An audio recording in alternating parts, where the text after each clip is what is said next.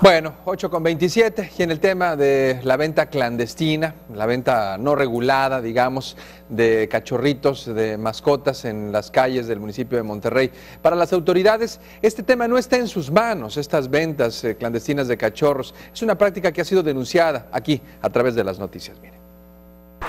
Pese a que la Dirección de Comercio de Monterrey debe regular la venta en las calles, las autoridades dijeron que la venta clandestina de perros en la carretera nacional no les corresponde.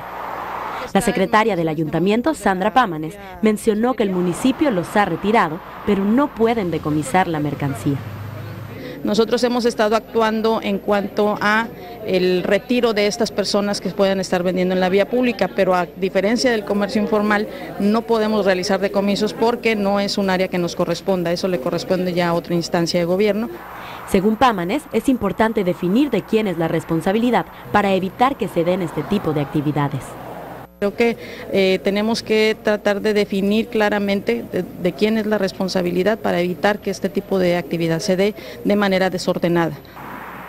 Sin embargo, mientras el municipio de Monterrey determina a quién corresponde esta responsabilidad, la venta de perros en la vía pública seguirá. Y según especialistas, esto va a provocar que aumente el número de estos animales en las calles de la ciudad.